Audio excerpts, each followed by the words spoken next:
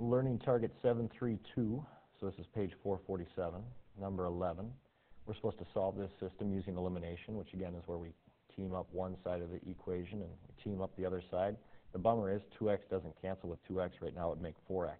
So we use our little trick where we say multiply by negative 1, create an equivalent equation. Kind of a shortcut we said, flip it, flip it, flip it. If you flip all the symbols, now these are going to cancel.